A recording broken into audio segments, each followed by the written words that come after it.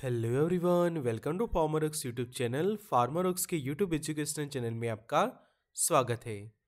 आज के video lecture में हम डिटेल में स्टडी करेंगे पाँच सबसे अच्छी हाई ब्लड प्रेशर की दवाइयों के बारे में।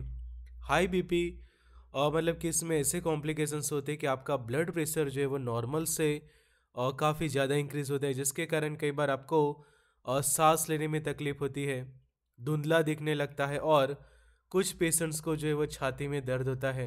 तो ये कंडीशन को ट्रीट करने के लिए, उसको कंट्रोल करने के लिए जो मेडिकेशंस यूज़ की जाती है, उसकी स्टडी करेंगे और उसमें पाँच सबसे अच्छी कौन सी है, वो जानेंगे। तो expert lecture by Amar sir assistant professor and founder of Pharmarocks thank you पर बीन फार्मारॉक्स फैमिली अपडेटेड रही है नॉलेज के साथ।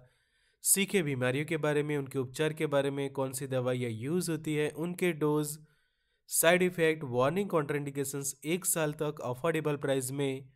फार्मा रॉक्स के ऐप ऊपर तो Android user Android app download करें। आईफोन यूज़र ऐप स्टोर से या फिर nine zero one six three one two zero two zero number पर आप हमें कॉन्टैक्ट करें अगर आपको मेडिसिन कोर्स को ज्वाइन करना है। साथ ही हमारे सेकंड चैनल को भी सब्सक्राइब करके हमें सपोर्ट करें, जिसका नाम है Hollywood to Hindi explain link आपको डिस्क्रिप्शन बॉक्स में मिल जाएगी।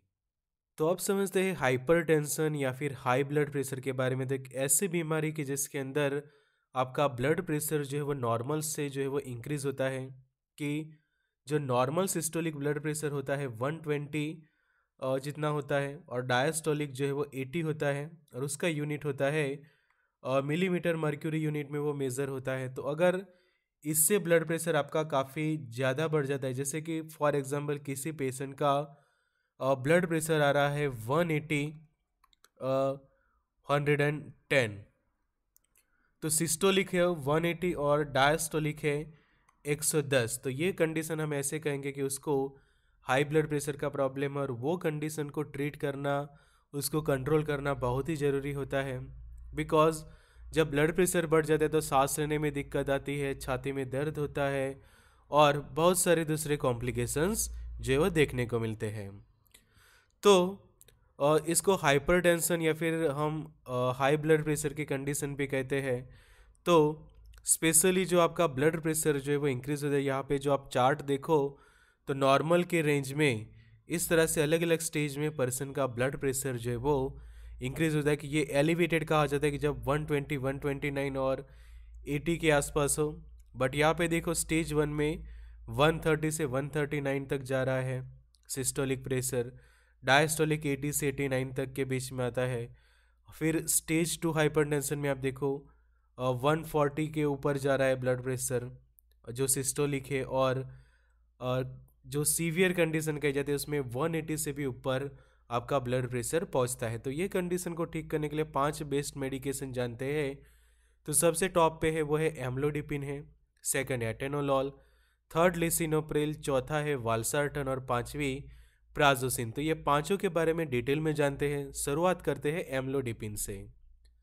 तो एम्लोडिपिन जो है वो कैल्शियम चैनल ब्लॉकर क्लास के एंटी हाइपरटेंसिव मेडिकेशन है कि जो सबसे ज़्यादा प्रिस्क्राइब होने वाली मेडिकेशन है ब्लड प्रेशर को कंट्रोल करने के लिए। और उसका जो डोज होता है two point five M G, lower dose में यूज़ होती है या फिर पाँच एम जी के डोज में वंस डे, दिन में एक ही बार कि कुछ लोग जो है वो पाँच मिलीग्राम वाला यूज़ करते हैं, कुछ लोग टू पॉइंट फाइव मिलीग्राम के डिपेंड ऑन उनकी कंडीशन किस तरह से है। और ये मेडिकेशन जो है वो मेडिकल सुपरविज़न में लेनी चाहिए कि जब भी आपका डायग्नोसिस होता है, हाई ब्लड प्रेशर और उसके बाद प्रॉपर मेडिकल सुपरविज़न में ही आपको ये मेडिकेशन लेनी चाहिए। हो सके तो हर वीक एक बार आपका जो है वो ब्लड प्रेशर की आपको जाँच करानी चाहिए। और ये मेडिकेशन हमेशा लोअर डोज से मतलब कि ये टू पॉइंट फाइव एमजी जो है वो वंस डे के हिसाब से जो है वो पेशेंट स्टार्ट करता है और अगर फिर भी ब्लड प्रेशर कंट्रोल ना रहे तो ही वो ये पाँच एम वाली मेडिकेशन यूज़ करता है या फिर टू पॉइंट फाइव एमजी के टैबलेट दिन में दो बार खाते हैं।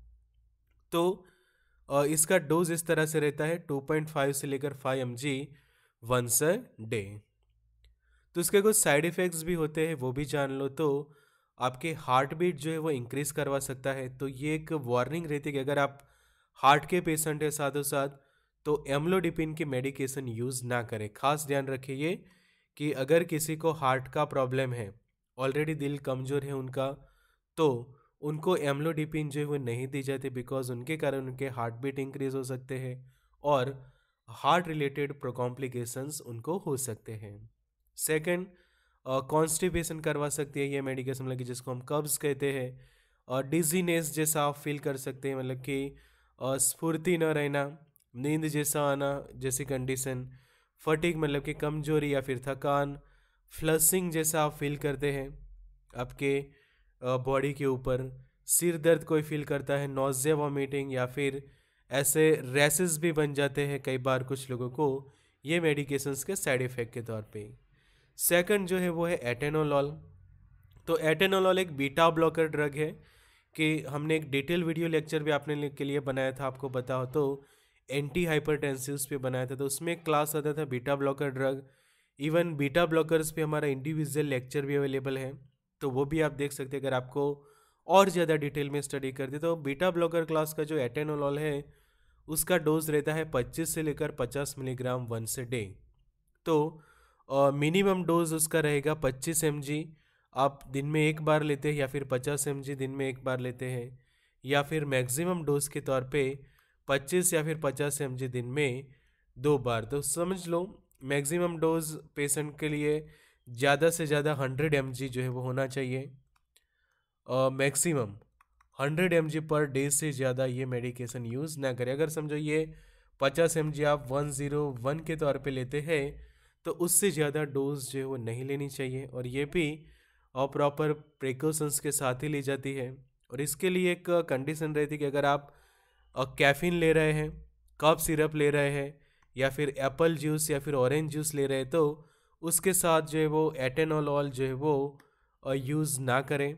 बिकॉज़ ये क्या करता है कि एटेनोल का जो एब्जॉर्बसन होता है आपके बॉडी के अंदर, उसको प्रिवेंट करता है मतलब कि रोकता है। तो कैफिन के साथ कभी भी एटेनोल ना लें किसी कप सिरप के साथ एटेनोल को यूज़ ना करें। अगर आप एप्पल जूस लेते हैं या फिर ऑरेंज जूस लेते हैं तो भी एटेनोल को उस समय साथ में यूज़ ना करें। एटेनोलॉल के कुछ साइड इफ़ेक्ट्स देखें तो टायर्डनेस मतलब कि इस तरह से आप थकान कमज़ोरी जैसा फील करेंगे ये मेडिकेशन लेने के बाद। आ, कुछ पेशेंट्स का ब्लड प्रेशर अचानक से डाउन हो जाता है। तो लो बीपी भी हो कर कर सकती है ये मेडिकेशन इसलिए जो हमने डोज की बात की तो हमेशा उसका जो मिनिमम डोज है, कि जो हमने बात की कि 25 से लेकर 50 एम जी वंस डे के हिसाब से ही उसका लोअर डोज से ट्रीटमेंट स्टार्ट की जाती है। बिकॉज़ मान लो अचानक से ब्लड प्रेशर डाउन हो गया तो पेशेंट को काफ़ी कॉम्प्लिकेशंस हो सकते हैं। फिर ये मेडिकेशन क्या करेगी? हार्ट रेट स्लो करवा सकती है। जैसे एम्लोडिपिन में हमने देखा कि हार्ट रेट इंक्रीज करवाती थी, ये मेडिकेशन हार्ट रेट जो है वो रिड्यूस कराती है। फिर कोल्ड एक्सट्रीमिटीज़ जैसा आपको प्रॉब्लम हो सकती है, और डिजीनेस जैसा फील हो सकता है डिप्रेशन में पेशेंट जा सकता है, और नोजिया वॉमिटिंग जैसे कुछ साइड इफ़ेक्ट्स डेवलप होते हैं एटेनोलॉल के कारण। फिर ड्रीमिंग ड्रीमिंग भी कुछ लोग जो है वो महसूस करते हैं, अगर उसको काफ़ी हाई डोज में ले लेते हैं तो। तो ये ख्याल ध्यान रखें कि एटेनोल हमेशा प्रॉपर डोज के हिसाब से ही लीजिए, कभी भी उसको हाई डोज में यूज़ ना करें। तीसरी मेडिकेशन है, वो है लिसिनोप्रिल। तो लिसिनोप्रिल जो है, वो एसी ही इनहिबिटर है कि जिसको हम एंजियोटेंसिन कन्वर्टिंग एंजाइम इनहिबिटर कि जो ए सी ई कहे जाते हैं। तो लिसिनोप्रिल के जो डोज की हम बात करें तो पाँच से लेकर चालीस मिलीग्राम तक ये मेडिकेशन जो वो ली जाती है तो मिनिमम जो है वो उसका डोज बनता है फाइव एमजी जितना पर डे और जो मैक्सिमम डोज जो उसका बनता है वो है forty M G per day तो ये खास देने के कि चालीस एम जी से ज़्यादा दिन में और कभी भी उसको जो है वो यूज़ ना करें कि मैक्सिमम चालीस एम जी से ज़्यादा कभी भी आपको यूज़ नहीं करनी है। और रेगुलर डायग्नोसिस फिर ब्लड प्रेशर मॉनिटरिंग के साथ ही उसका जो डोज जो है वो फिक्स किया जाता है। और हमेशा जो ट्रीटमेंट जब भी स्टार्ट की जाती है तो ये पाँच मिलीग्राम के जो टैबलेट्स आते हैं, उसी से ट्रीटमेंट जो वो स्टार्ट की जाती है कि ये पाँच एम का टैबलेट पेशेंट वंस डे के हिसाब से यूज़ करता है और अगर उसका ब्लड प्रेशर कंट्रोल नहीं रहता तो फिर वंस डे के बजाय वो दिन में दो बार यूज़ करता है और ऐसे मतलब कि फिर उसका डोज जो है वो एक फाइनल फिक्स किया जाता है। और कुछ लोगों का लिए ये ट्वेंटी एमजी के टैबलेट्स भी प्रेफर किए जाते कि अगर पाँच एम से उनका ब्लड प्रेशर कंट्रोल नहीं आता। बट ध्यान ये रखना है कि हमेशा जब भी डायग्नोसिस हो, आपका ब्लड प्रेशर हाई है तो लोअर डोज से ही ट्रीटमेंट स्टार्ट की जाती है। लिसिनोप्रिल के हम कुछ साइड इफ़ेक्ट्स देखें तो उसके कारण जो है वो और ड्राई कफ के जो कॉम्प्लिकेशंस होते हैं कि कफिंग जैसा पेशेंट फील करते हैं। ड्राई कफ मतलब कि जिसको हम सूखी खांसी कहते हैं, जिसमें कोई बलगम या फिर म्यूकस नहीं आता। फिर ब्लड के अंदर पोटेशियम का लेवल जो है वो इंक्रीज़ करवा सकते जिसको हाइपर कैलेमिया हम कहते हैं। इसके कारण भी आपको फटीक मतलब कि थकान, कमज़ोरी जैसा आप फील करते हैं एनजियो एडिमा कि जैसे यहाँ पे आप देखो कि लिप्स के ऊपर सूजन है, नोज़ का जो बाग है, आँखों के ऊपर सूजन रहना, चेहरे पे सूजन या फिर आपके हाथ के ऊपर, पैर में सूजन देखने को मिलना तो इसको एनजियो एडिमा कहते हैं। तो ये कुछ लोगों को साइड इफ़ेक्ट डेवलप होती है। लिसिनोप्रिल लेने के बाद कुछ लोग डिजीनेस जैसा फील करते हैं सिर दर्द जैसा होता है या फिर आपका टेस्ट जो है वो लॉस हो जाए, ऐसे कुछ साइड इफ़ेक्ट्स डेवलप होती है लिसिनोप्रिल के कारण। वीडियो के बीच में आपको बता दूँ कि जो हमारे सेकंड चैनल जो हमने स्टार्ट किया है, उसको सब्सक्राइब करके ज़रूर से हमें सपोर्ट करें कि वहाँ पे आप अलग अलग हॉलीवुड की मूवीज़ को हिंदी में एक्सप्लेन कोई स्टोरी के साथ। उनकी कहानी को अच्छी पिक्चर क्वालिटी के साथ जो है वो सुन भी पाएँगे और देख भी पाएँगे। तो अभी सब्सक्राइब करें हमारा second channel link description box में मिल जाएगी। चौथे मेडिकेशन जो है वो एंटी हाइपरटेंसिव में वो है लॉसार वालसारटन। तो वालसारटन जो है वो एंजियोटेंसिन रिसेप्टर ब्लॉकर क्लास का मेडिकेशन है कि जिसको ए आर बीज भी कहा जाता है कि एंजियोटेंसिन रिसेप्टर ब्लॉकर मेडिकेशन या फिर angiotensin type two receptor antagonist A T two भी कहा जाता है। तो ये मेडिकेशन जो है वो काफ़ी पॉपुलर है कि अगर जो हमने प्रीवियस तीन मेडिकेशन जो डिस्कस की, इससे पेशेंट ठीक नहीं हो रहा तो वालसारटन के मेडिकेशंस भी उसको स्टार्ट किए जाते हैं। तो उसका जो डोज रहता है एटी से लेकर one sixty milligram once day के हिसाब से पेशेंट यूज़ करता है। वन आवर बिफोर मील मतलब कि खाना खाने के एक घंटा पहले। तो समझो कि किसी के लिए चालीस एमजी के डोज से भी कुछ लोगों की ट्रीटमेंट शुरू की जाती है। कुछ लोगों के लिए एटी एम या फिर maximum one sixty MG per day जितनी मेडिकेशन जो है वो यूज़ की जाती है। बट उससे ज़्यादा डोज में आप कभी भी यूज़ ना करें। तो ये याद रखिए वालसाटन के लिए। उसके कुछ साइड इफ़ेक्ट्स जैसे कि डिजीनेस लाइट सिर दर्द जैसा हो सकता है फेंटनेस मतलब कि आपको चक्कर आ सकती है कन्फ्यूज़न जैसा फील होना, दस्त मसल्स में क्रैम्प होना वीकनेस साइनसाइटिस बैक पेन जैसा भी होता है कुछ लोगों को इनसोमनिया मतलब कि नींद नहीं आती रात को लेट तक और सोने में डिफ़िकल्टी होना हार्ट बीट्स इरेगुलर होना कॉफिंग हो सकती है बट वो ए सी इनिबिटर से थोड़ी कम कफिंग होती है। मायोकार्डियल इन्फ्रेक्शन मतलब कि हार्ट अटैक का एक रिस्क रहता है वालसाटन के साथ। फिर कैंसर का कुछ लोगों का रिस्क रहता है या फिर किडनी फेलियर के भी इसके रिस्क रहते हैं। पांचवा जो हमारा मेडिकेशन है वो है प्राजोसिन। तो प्राजोसिन जो है वो अल्फ़ा एड्रीनर्जिक ब्लॉकर के जैसे हमने बीटा ब्लॉकर देखी, उसी तरह से ये अल्फ़ा ब्लॉकर मेडिकेशन है। तो उसकी जो ट्रीटमेंट जब स्टार्ट की जाती है तो पॉइंट फाइव या फिर वन एम के डोज से शुरू की जाती है। तो यहाँ पे आप देखो कि जो फाइज़र वन एमजी में जो टैबलेट्स बनाता है और प्राजोसिन के, कि यहाँ पे आप देखो लिखा कि प्राजोसिन के टैबलेट्स ब्रांड नेम है उसका मिनी प्रेस तो और जब भी ट्रीटमेंट शुरू की जाती है लोअर डोज से पॉइंट फाइव या फिर one M G bedtime मतलब कि रात को सोने से पहले पेशेंट जो है वो इसको यूज़ करता है। और फिर रेगुलर जो है वो बीपी मॉनिटरिंग की जाती है डायग्नोसिस की जाती है और धीरे धीरे डोज जो है वो इंक्रीज़ किया जाता है और मैक्सिमम जो है डोज है वो चार एम दिन में दो बार या फिर दिन में तीन बार के हिसाब से पेशेंट यूज़ करता है और ये उसका फिर रेगुलर डोज बन जाता है। एक से लेकर चार एम दिन में दो बार या फिर दिन में तीन बार के हिसाब से पेशेंट यूज़ करता है। तो इसको भी कभी हाई डोज में यूज़ नहीं करनी चाहिए।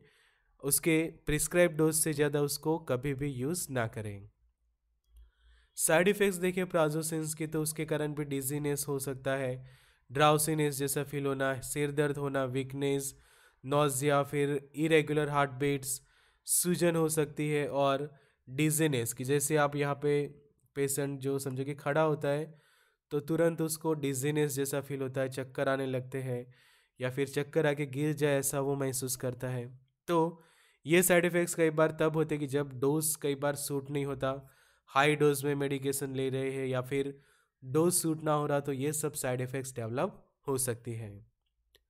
तो ऐसे ही सीखे मेडिसिन कोर्स में अलग अलग दवाइयों के बारे में, उनके dose side effect, warning and contraindications, एक साल तक, अफोर्डेबल प्राइस में, सरल भाषा में, फार्मारोक्स के ऐप ऊपर।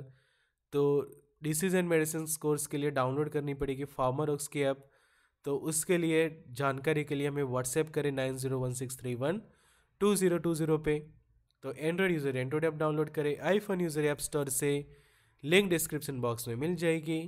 और सेकंड चैनल को ज़रूर से सब्सक्राइब करें और हमें सपोर्ट करें। Good luck and all the best